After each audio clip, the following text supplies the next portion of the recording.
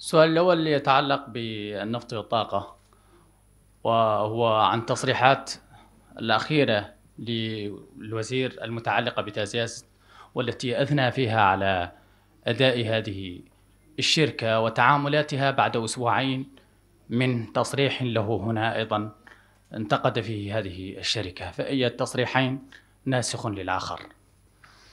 أنا ماني مذكر شخصيا على أني انتقدت تازياست أنا انتقدت اتفاق بين موريتانيا وتازياست وقلت أن ذاك الاتفاق على أنه غير مرضي وله صالح موريتان اتفاق بين اثنين يوقعوا اثنين توقعوا الدولة وتوقعوا تازياست هذا ما هو انتقاد التازياست كشركة والله ككين رأس الشركة هذا اتفاق معين. وانتقدت الظروف اللي تم فيها ذاك الاتفاق.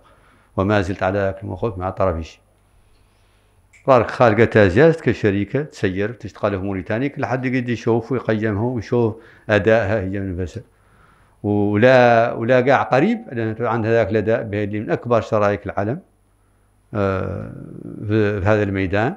والعكس هو اللي كان منتظر منها أن تعود قال توقف عليها أنت من نفسك وتمشي مولي وتقارنها بلا.